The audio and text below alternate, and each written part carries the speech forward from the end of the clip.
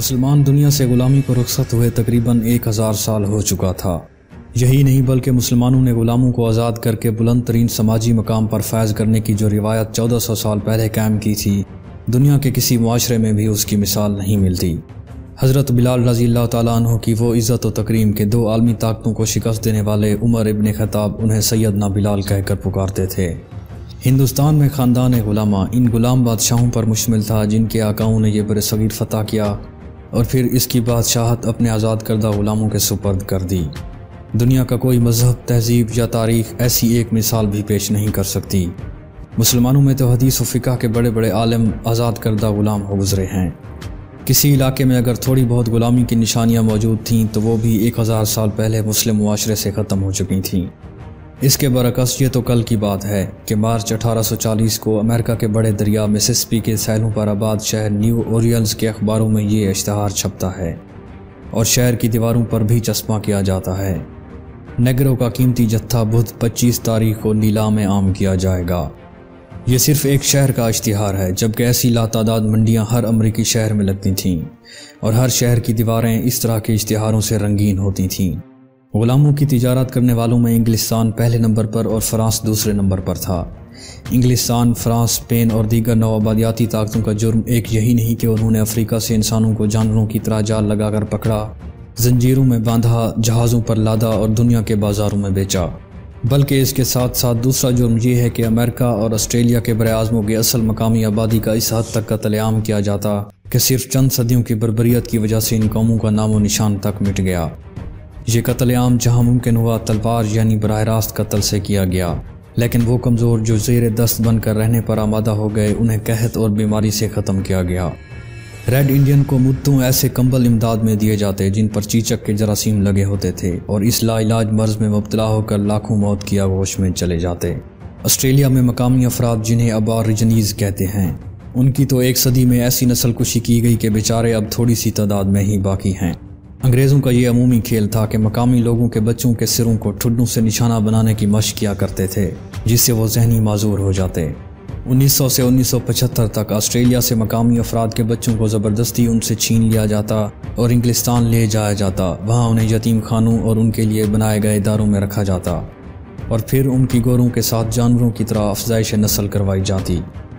इसके पीछे Australian parliament का एक कानून था कि मकामी अफराद की नस्ल चूँकि तेज़ी से ख़त्म होती जा रही है और उनकी जीनियाती हालत ऐसी है कि ये अपने अंदर लंबी ज़िंदगी की सलाहियत नहीं रखते।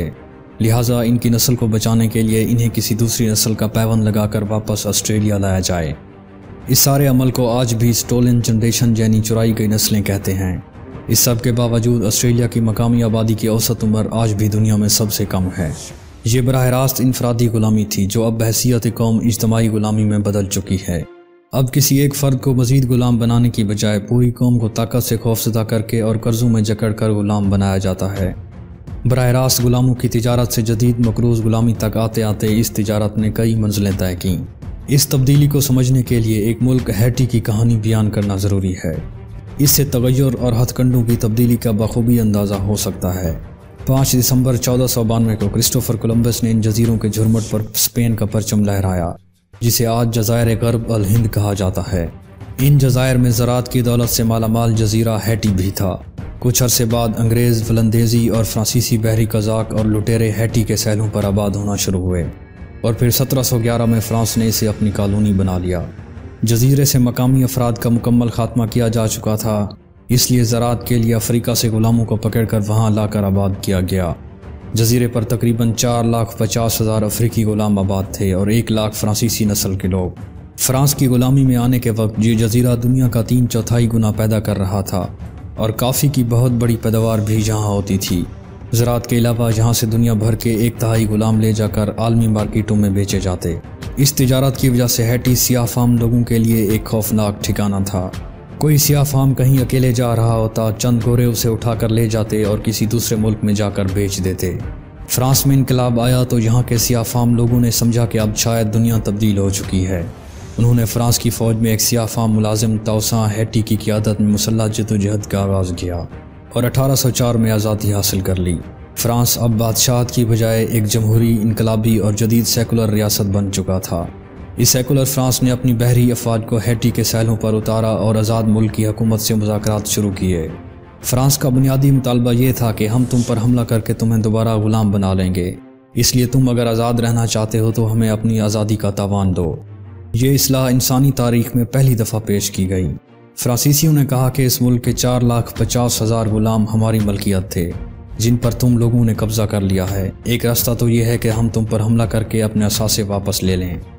यानी तुम्हें फिर से गुलाम बना लें, जबकि दूसरी सूरत यह है कि तुम इन असासों की कीमत अदा करो।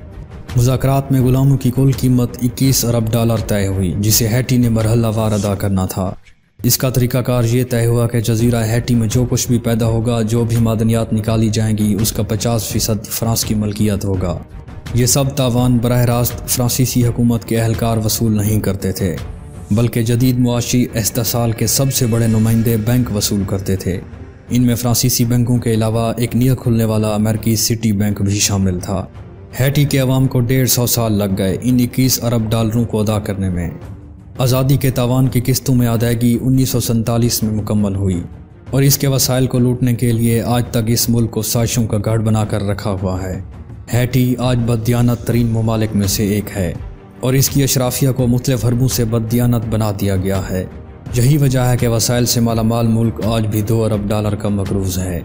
हैटी की तरह पूरी दुनिया की करीब अकवाम इज्तमाही तौर पर अपनी आज़ादी का तावान अदा कर रही हैं। इन्हें सूदी कर्जों की दलदल में ऐसा जकड़ा गया है कि बगावत करने वाले को दहशत गर्दों का सहूलतकार बताकर इसका अव्वल तो फैटफ के तर्ज कवानीन के ज़रिए मुआशी कत्ल किया जाता है। इसकी बदयानत क्यातों के ज़रिए मुल्क के असासे कब्ज़े में लिए जाते हैं और अगर ईमानदार क्यातें ऐसा ना करें तो फिर इस मुल्क में फ़ौजें उतार दी जाती हैं। दोस्तों, अभी आपने और मकबूल जान का लिखा हुआ कलम आज़ादी का तावान सुना। इसके बारे में आपके क्या व्यूज़ हैं, कमेंट करके ज़रूर बताइए। और इस तरह की वीडियोस लगातार देखने के लिए चैनल को सब्सक्राइब करें और बेल आइकन भी प्रेस कर दें ताकि हमारी हर नई आने वाली वीडियो आप तक पहुँच सके और अपना बहुत ज़्यादा ख्याल रखें।